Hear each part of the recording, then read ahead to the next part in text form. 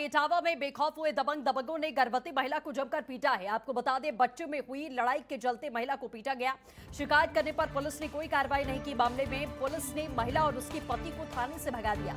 न्याय के लिए एसएसपी कार्यालय के बाहर महिला लेटी हुई। तस्वीरें भी हम आपको दिखाएँगे। बच्चों में लड़ाई हुई और इसी के चलते महिला को पीटा गया।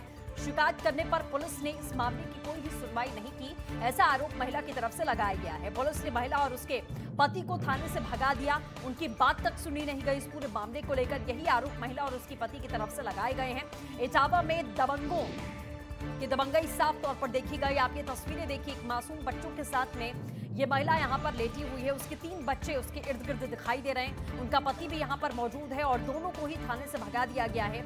ऐसा इस परिवार की तरफ़ से कहा गया, महिला की तरफ़ से भी और उस पुरुष की तरफ़ से भी कि पुलिस की तरफ़ से हमारी बातें सुनी नहीं गई हैं। दबंगों की तरफ़ से जिस तरीके की क्रूरता हमारे साथ में की गई, इंसाफ की गुहार लगाने हम यहाँ पर पहुँचे हुए थे, लेकिन हमें इंसाफ के नाम पर कुछ नहीं मिला। हमें मौके से भगा दिया गया।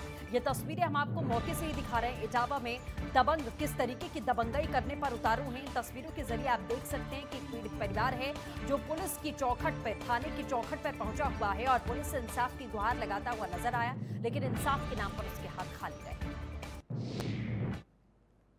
तो ये तस्वीरें आप साफ़ तौर पर देखिए। ये यूपी की पुलिस है जो लगातार ये दावे करती है कि जितने भी लोग उसके पास में अपनी दरकार लेकर आते हैं, पुलिस अपना काम सही तरीके से कर रही है, लेकिन ये अमानवीय चेहरा ही कहा जा सकता है कि किस तरीके का बर्ताव इस महिला और इसके परिवार के साथ में किया गया। मासूम तीन बच्चे हैं, जिनके साथ में ये महिला यहाँ पर ज़मीन पर लेटी हुई है, क्योंकि इनके साथ में दबंगों की तरफ़ से क्रूरता की गई है। जब ये पुलिस के पास में पहुँचते हैं, पूरा परिवार जब पुलिस के पास में पहुँचता है आरोपी को लेकर शिकायत करने के लिए तो उल्टा महिला और उसके पूरे परिवार को थाने से भगा दिया जाता है। तो एक्सक्लूसिव तस्वीरें हम आपको ऑनलाइन टीवी पर लगातार दिखा रहे हैं कि आखिरकार पुलिस की कार्यशैली क्या है। पुलिस को लेकर तमाम बार सरकार आदेश देती रही है, फटकार लगाती रही है, लेकिन पुलिस की कार्यशैली जस की तस बनी हुई है।